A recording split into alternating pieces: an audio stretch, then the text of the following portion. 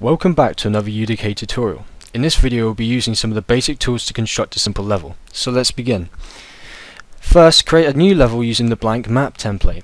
When we have that in place we'll be grabbing our red builder brush which can be viewed in all the viewports. Click on it and you can notice the gizmo in the middle.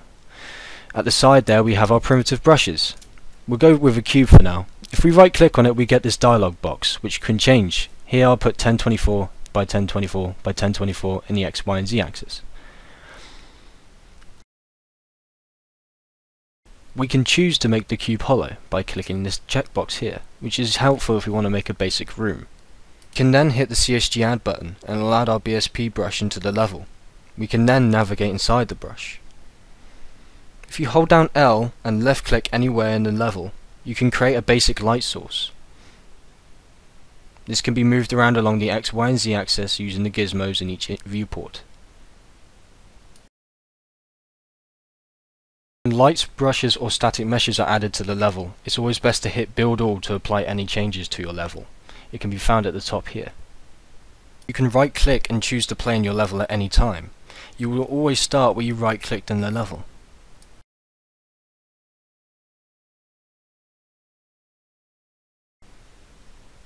If you go ahead and grab your red builder brush and then right click on cube we'll uncheck hollow and we'll type into the z-axis 256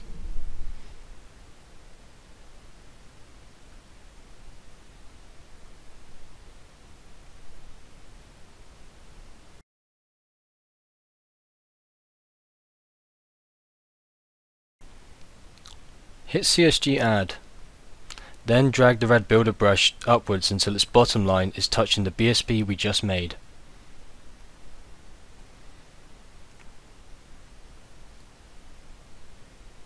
Next we will go into geometry mode. To select points, hold Ctrl and Shift, then drag with your left mouse button to select the side points. Move them in and do the following to the next two. This way you'll end up with a thin red box. This will be our wall. Hit CSG add again.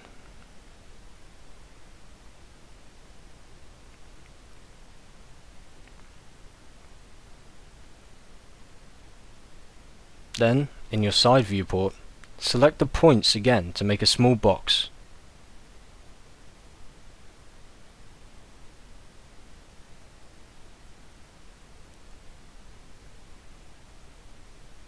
Then hit CSG subtract you will now have an opening for your player to use.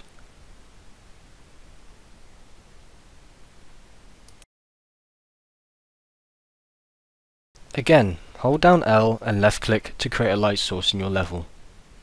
Change the mode at the top to lit if it has not done so already. Move the light around until you are happy with its position in the level.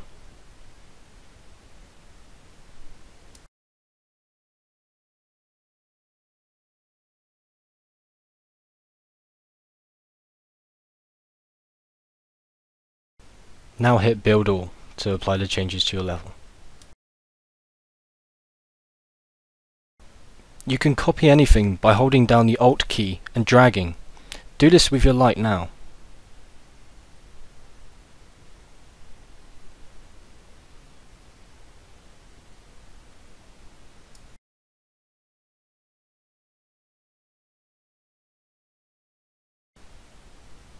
Most levels will use static meshes, so go ahead and open up your content browser and select static mesh in the filter panel.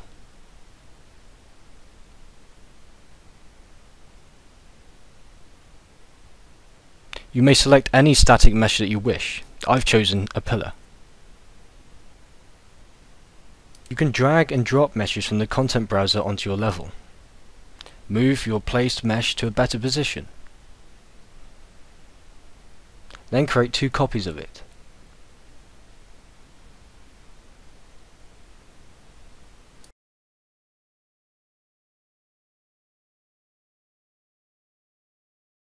Next we will create a volume.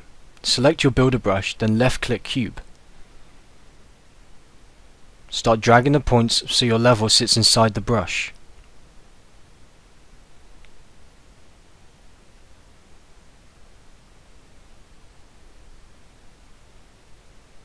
Make sure to check every viewport.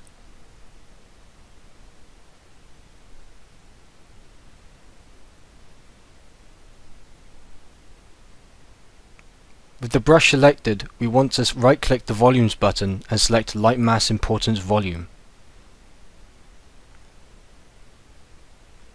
UDK will now correctly build our lighting inside the volume when build all is run. Now we will create a player start. To do this right click, select add actor, then click add player start.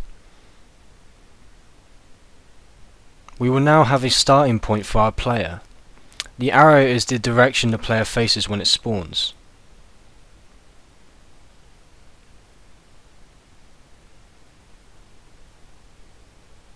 You can use the rotate and move modes to place your player in a better position.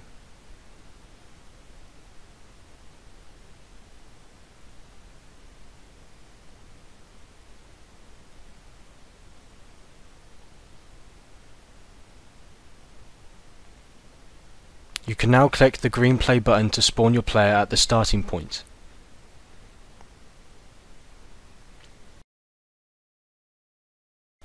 you now have a working level. In the next video we will look at the different types of lighting which you can use. Thank you for watching.